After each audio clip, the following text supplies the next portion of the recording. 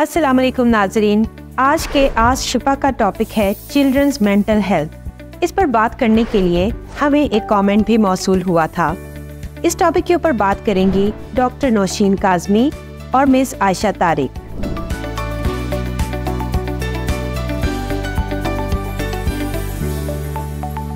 Doctor Nausheen, क्या common science और symptoms हैं बच्चों में मेंटल हेल्थ इश्यूज़ के?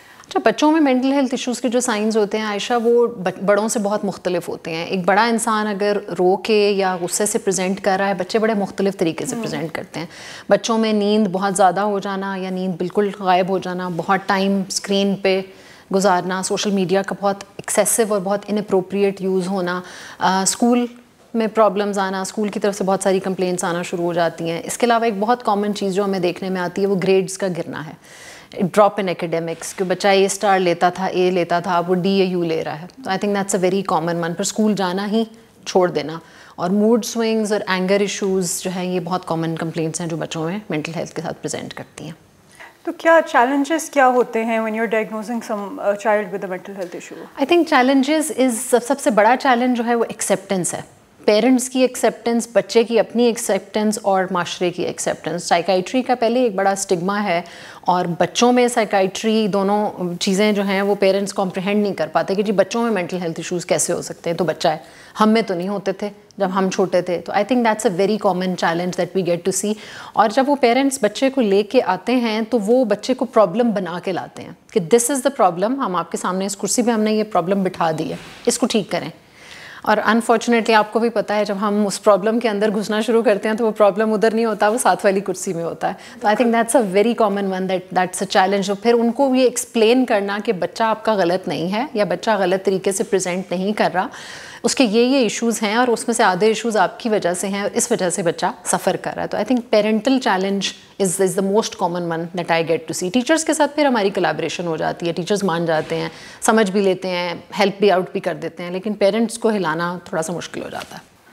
So how important is early intervention बच्चों की हेल्प करने की जब हम बात करते हैं। आई थिंक अर्ली इंटरवेंशन का बहुत रोल है। आपने आपने देखा है कितने रिसर्च पेपर्स हैं कितनी पब्लिकेशंस हैं कितनी सर्विसेज़ डेवलप हो गई हैं in the last ten to twenty years on early intervention in children mental health इसी का, इसका रीज़न यही है कि जितनी अर्ली इंटरवेंशन होगी डेवलपमेंटल एज के अंदर होगी, उतनी चीज़ें जल्दी इंप्रूव हो सकती हैं। Whether it's speech therapy whether it's behavioural therapy whether it's any kind of therapy with you as a clinical psychologist जो चीज़ें अर्ली डिटेक्ट हो के अर्ली मैनेज हो जाती हैं, उनका टाइम ड्यूरेशन कम हो जाता है। दवाई अगर माइल्ड टू मॉडरेट डिप्रेशन में आपने खिला दी है तो जल्दी ख़त्म हो जाएगी। अगर आप सवेयर डिप्रेशन तक ले गए हैं और आपने दवाई नहीं खिलाई तो उस दवाई का ड्यूरेशन लंबा हो जाएगा। तो anything that you lead जिसको भी आप कहें कि बहुत पानी सर से गुजर जाए और फिर आप ट्रीट करना शुरू करेंगे तो वो लंबी होगी। जितनी चीज़ जल्दी मैनेज हो सकती है, जितनी अच्छे से मैनेज हो सकती है, उतना उसका ड्यूरेशन कम होगा। इसीलिए अर्ली इंटरवेंशन सर्विसेज़ का डेफिनेटली डेफिनेटली बहुत बड़ा रोल है। आपने कहा कि अर्ली इंटरवेंशन बहुत इंपॉर्टेंट है राइट लेकिन साथ में भी आपने थोड़ी देर पहले ये भी कहा था कि जब पेरेंट्स हमारे पास बच्चों को लेकर आते हैं तो वो एक बहुत बड़ा प्रॉब्लम लेकर आते हैं, जो जिसमें फिर काम करना मैनेज करना उतना ही मुश्किल होता है। तो क्या वो अर्ली साइंस एंड सिम्टम्स क्या हैं, जो पेरेंट्स या कोई भी डिटेक्ट कर सकता है बच्चों में। तो देखिए इसमें एज ग्रुप्स है ना। अगर आप कहें कि एक पाँच साल तक का बच्चा है वो बात नहीं करता वो बहुत बिहेवियरल टैंट्रम्स थ्रो करता है लेट जाता है और कोई दो घंटे तक लेटा ही रहता है फिर उठता ही नहीं है उसकी क्राइंग बहुत लंबी है खाना नहीं खाता तो ये सब अर्ली एज के हैं फाइव इयर्स तक के। उसके बाद फिर आपका बच्चा स्कूल जाना शुरू कर देता है। स्कूल से बिहेवियरल कंप्लेंट्स आ रही हैं बच्चा मारता है पढ़ाई में दिलचस्पी नहीं लेता टीचर की बात नहीं सुनता क्लास से उठ के चला जाता है रूल्स को फॉलो नहीं करता एग्रेशन दिखाता है ज़रा सी चीज़ पे टीचर उसको डांटती है तो वो बहुत बड़ा टेंट्रम थ्रो करता है। इसी तरह घर पे फिर टीनेजर्स की बात आ जाती है कमरे में बहुत टाइम स्पेंड हो रहा है आ, या घर से बाहर बहुत टाइम स्पेंड हो रहा है टाइम रात को जाग रहे हैं दिन में सो रहे हैं खाना पीना ठीक नहीं है एकेडमिक्स में कोई इंटरेस्ट नहीं है they're always on the screen twenty four seven तो उसमें फिर आपका मूड लो होना शुरू हो जाता है और जब भी आप बच्चा कमरे से बाहर निकलता है तो वह ख़राब मूड के साथ निकलता है। तो आई थिंक ये बहुत छोटे छोटे साइंस हैं जो आपको एज पेरेंट्स आइडेंटिफाई होते हैं कि ये अगर अर्ली डिटेक्ट हो जाएँगे तो अर्ली हेल्प मिल जाएगी और मसला आप जल्दी सॉल्व हो जाएगा। बजाय कि आप उसको बहुत बड़ी प्रॉब्लम बना के जब हमारे पास लेके आएँगे तो हमें फिर सर्विसेज़ भी ज़्यादा देनी पड़ेंगी और लंबे ड्यूरेशन के लिए देनी पड़ेंगी। अच्छा considering it's risk and benefits medication किस हद तक रोल प्ले करती है in managing these mental health तो देखिए medication in children do not go hand in hand ये बहुत इंपॉर्टेंट चीज़ है। पेरेंट्स भी आते हैं और बहुत सारे पेरेंट्स apprehensive होते हैं। They don't want the medication in in in children when I completely understand उनके कंसर्न्स हैं, दवाई से रिलेटेड जी वो दवाइयों के बारे में एक मशहूर है ना साइकाइट्री की दवाइयों के कि एडिक्ट हो जाएँगे, ये इससे जान नहीं छुड़ा पाएँगे, लम सारी उम्र लेनी पड़ेगी। And they are justified in in explaining लेकिन जब आप उनको समझाते हैं कि ये मामला अब सिर्फ़ साइकोलॉजी से रिलेटेड नहीं है, सिर्फ़ काउंसलिंग से ये मसला हल नहीं होगा, चीज़ें अब केमिकल इम्बैलेंस है डिप्रेशन में एंगजाइटी में, अब बच्चा आपका मैनेज नहीं कर पा रहा। पिछले छः महीने साल से वो स्ट्रगल कर रहा है। या कुछ लोग हमारे पास आते हैं जो बच्चे कोविड के टाइम से स्ट्रगल कर रहे हैं और वो अब प्रेजेंट हो रहे हैं।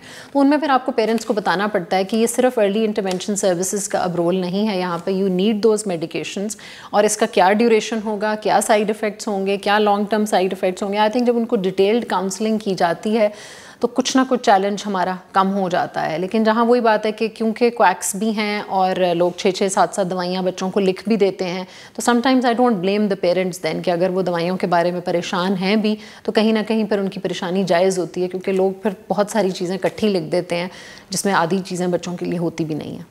अच्छा वन थिंग जो हम यहाँ पे देखते हैं, जिसका बहुत बड़ा चैलेंज भी हम फेस करते हैं इट इज़ कोलैबोरेटिंग बच्चों की हेल्प मिलकर करनी होती है मल्टी सिस्टमिक अप्रोच लेकर चलनी होती है. तो हाउ डू यू थिंक कि किस तरह हम कोलैबोरेशन इंक्रीज़ कर सकते हैं या इफ़ेक्टिव बना सकते हैं with different parties involve I think awareness is important इसीलिए हम शायद यहाँ आज भी बैठे हैं और ये बात कर रहे हैं बिकॉज़ अवेयरनेस सेशंस बहुत ज़रूरी हैं। सिर्फ़ एक बंदा बच्चे का मसला हल नहीं कर सकता। You need to be very clear to the parents from day one कि ये सिर्फ़ मेरा एक बंदे का काम नहीं है।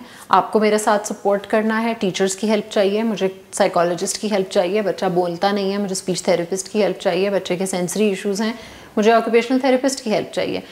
पेरेंट्स थोड़े से डिसहार्ट भी होते हैं कि क्या मतलब हमने छः जगह फ़ीस देनी है छः जगह हमने उसको बच्चे को दिखाना है but ultimately when they start seeing the changes and they start realising कि हर बंदे की अपनी एक्सपर्टीज़ हैं हर बंदे की अपनी एक फ़ील्ड uh, um, है जिसमें वो एक्सपर्ट uh, है तो उसमें फिर उनको अंदाज़ा होना शुरू हो जाता है कि अच्छा छः जगह दिखाएँगे तो ही प्रॉब्लम हल होगा। अगर दो जगह दिखा के चार जगह को इग्नोर कर देंगे तो इट्स नॉट पॉसिबल तो I think collaboration and children mental health can not be separated at any cost absolutely अच्छा आयशा मेरा आपसे ज़ाहिर है we know we we both go hand in hand whenever we talk तो क्या इफ़ेक्टिव स्ट्रैटेजीज़ हैं support करने में बच्चों की इमोशनल वेलबींग के सिलसिले में? बड़ा कॉमन क्वेश्चन आता है हमारे पास चिल्ड्रंस इमोशनल वेलबींग और हमारे जो पेरेंट्स हैं वो कहते हैं कौन से इमोशंस और क्या इमोशंस तो क्या कहेंगी इस पर आई थिंक जो सबसे इंपॉर्टेंट uh, जो चीज़ है in the first thing that I do in sessions as well के बच्चों को इमोशन रिकग्निशन की तरफ़ लाना। आइडेंटिफिकेशन सिखाना उनको कि अगर आप कोई बुरा एहसास महसूस कर रहे हैं तो वो बुरा एहसास क्या है जो कि आप महसूस कर रहे हैं? क्योंकि जैसे आपने पहले स्टिग्मा की बात की, हमारी सोसाइटी में इतना स्टिग्मेटाइज है मेंटल हेल्थ का टॉपिक कि लगता है कि उदास भी अगर बच्चा महसूस कर रहा है ना तो कोई बहुत बड़ा गुनाह कर दिया बच्चे ने। तो इट्स वेरी इंपॉर्टेंट घरों में भी जो है इमोशंस के अराउंड बात नहीं होती। हालाँकि it's absolutely normal for a child to feel sad for child to feel stressed out और even for child to feel angry हम सभी एहसास महसूस करते हैं। So number one is always working on के बच्चे के साथ काम किया जाए कि इमोशन इमोशंस um, हैं क्या? उनका पर्पस क्या है? किस तरह वो हमारी हेल्प कर सकते हैं? और किस तरह जो है हम उनकी मदद से जो है अपने आप को बेहतर बना सकते हैं या अपने आप को खुद काम डाउन कर सकते हैं? उनको समझ सकते हैं बेहतर तरीके से। अच्छा इसी से मुझे एक एक क्वेश्चन मेरे जहन में आया कि अगर आप बच्चों की इमोशनल वेलबींग पे बात कर रहे हैं या बच्चों को इमोशनल रिकग्निशन करा रहे हैं and parents have no clue about emotions do you think कि उसमें फिर मसला आता है प्रॉब्लम आपको रेजिलियंस फेस करनी पड़ती है, या फिर they they are disconnected so so, yes yes, एक तो बहुत बड़ा चैलेंज यही होता है कि क्योंकि हमारे पेरेंट्स ने हमारे साथ इसलिए काम नहीं किया क्योंकि उनके साथ भी कोई काम नहीं हुआ हुआ था इमोशंस पे। So when we are working with children in therapy हमारा मेन मकसद कोलैबोरेशन विद पेरेंट्स भी है। हम पेरेंट्स की हेल्प के बगैर बच्चे के साथ काम नहीं कर सकते उनके साथ मदद नहीं कर सकते। So whenever we are doing sessions with children session में इतना हिस्सा मैं ज़रूर टेन फिफ्टीन मिनट्स रखती हूँ पेरेंट्स के लिए ताकि जो हम्म। काम बच्चे के साथ किया हुआ है उनके उनको भी उन्हीं गाइडलाइंस पे लेकर चला जाए ताकि उनको भी बताया जाए कि बच्चा क्यों वो फीलिंग फील कर रहा है या फिर उस फीलिंग का पर्पज़ क्या है ताकि वो भी बेहतर तरीके से उसको समझ सकें। And again it all end with के स्टिग्मा किस तरह हम कम कर सकते हैं और नॉर्मलाइज किस तरह कर सकते हैं हम इन फीलिंग्स बिल्कुल। I think that's that's a very valid point अच्छा schools you know what is what do you think के स्कूल्स का क्या रोल है in promoting positive mental health बच्चा अपना आधा दिन जो है वो स्कूल में ही लगाता है। तो school is a very very important place जहाँ पे जो है मेंटल हेल्थ इश्यूज़ अराइज होते हैं और जहाँ पे आपने कहा जैसे हम लोग नोटिस uh, भी सबसे पहले वहीं पे करना शुरू करते हैं। बच्चा सोशलाइजेशन करना स्कूल से शुरू करता है रिलेशनशिप्स बिल्ड करना स्कूल से शुरू करता है। So the school environment plays a very very big impact on the child उनके रिलेशनशिप्स पे सोशलाइजेशन पे फीलिंग्स पे कोपिंग स्किल्स पे बेशक।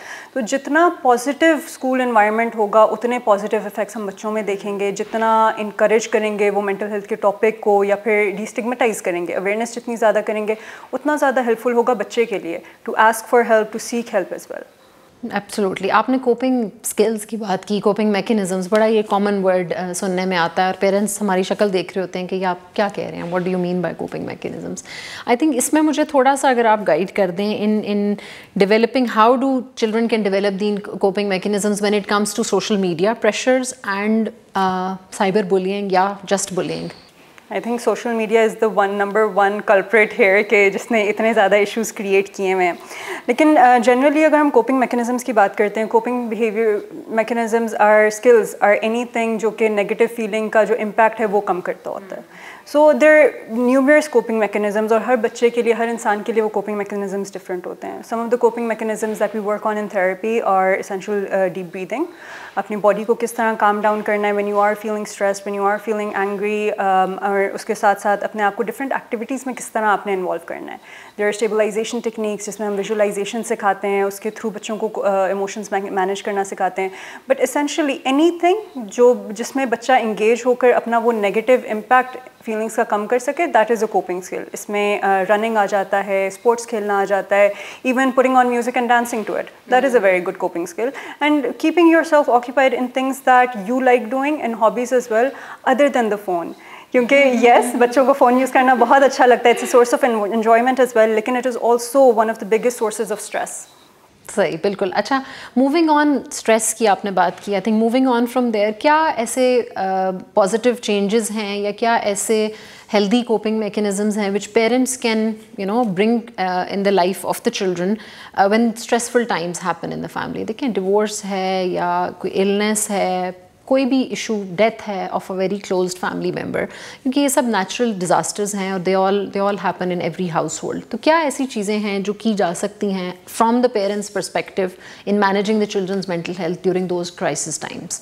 I think जो नंबर वन और सबसे इंपॉर्टेंट चीज़ है जो पेरेंट्स कर सकते हैं that is to build healthy communication skills with the child और जब हम कम्युनिकेशन स्किल्स की बात करते हैं, उसमें सबसे जो इंपॉर्टेंट चीज़ है और जो मोस्ट ओवरलुक चीज़ है that is listening as well and active listening अगर बच्चा कोई बात कर रहा है तो उसकी बात सुनना without judgement and without giving advice is well ठीक है? एंड दिस इज़ समथिंग जो कि मैं हर पेरेंट को कहती होती हूँ कि पेरेंट अपने बच्चे के साथ कोई भी इंटरेक्शन रखता होता है, कोई भी बात करता होता है it comes from a place of love parents इसीलिए बच्चों को एडवाइजेस देते होते हैं वो देते होते हैं लेसन देते होते हैं because they love them and they want them to do better लेकिन कभी कभार बच्चे उसको एज लव परसीव नहीं करते होते। and that's where things start going wrong that's where the miscommunication steps in as well so when you're talking to the child uh, focus on listening more rather than talking और अगर आप बात भी कर रहे हैं तो replace um, judgment with curiosity. Mm. Ask the child about their experience, how they're feeling, how they're do, doing, how they're dealing with a uh, specific situation or not, और assume ना करें कि ये चीज़ हुई है तो बच्चे को ये फील करना चाहिए तो हमें तो इसका इलाज पता है रादर hmm. आप सुने बच्चों को बात अगर uh, करने का आप मौका देते हैं तो that in itself creates that safe space और आधा मसला वहीं पे सॉल्व हो जाता है वक्त time it's all about time I think last but not the least मेरा एक क्वेश्चन है कि ओपन कन्वर्सेशन पे हम बहुत बात करते हैं। जी be open and honest be open and honest कैसे ओपन कन्वर्सेशन की जा सकती हैं between teachers between schools between parents students हम? अगर हम सब एक पेज पे आते हुए हमें बहुत टाइम लग जाता है। अभी भी I think we're ten steps behind where we are not all on the same page teachers को हम कहते हैं कि जी, आप आएँ मीटिंग्स में, वो नहीं आती। पेरेंट्स को हम कहते हैं, आप आएँ मीटिंग्स में, वो कहते हैं, टीचर को नहीं बुलाना आपने। तो how can we you know collaborate all of us together and then and develop these open conversations That is a very huge problem or a very multifaceted one as well कि um, क्योंकि you are absolutely right कि ना तो parents कभी कभार page पे आ रहे होते हैं ना टीचर्स आ रहे होते हैं और डिफरेंट इन्वायरमेंट्स जो है इफ़ेक्ट करते होते हैं। लेकिन when we talking about open communication I think जैसे I just said as well parent और चाइल्ड के बीच में बहुत ओपन कम्युनिकेशन होनी चाहिए। The child should feel comfortable enough to tell सबसे पहले अपने वो खुद जाके प्रॉब्लम शेयर करे।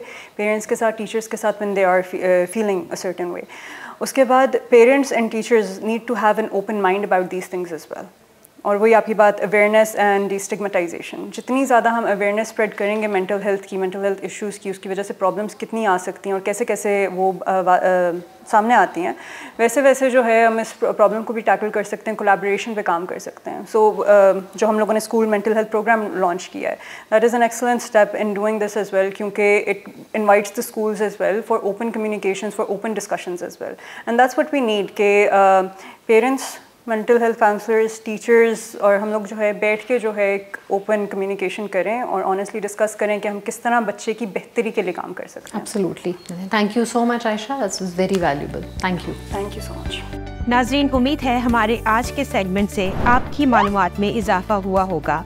अगर आप भी सेहत से मुतलिक कोई सवाल करना चाहते हैं तो अपने कमेंट्स दीजिए। अल्लाह हाफिज़।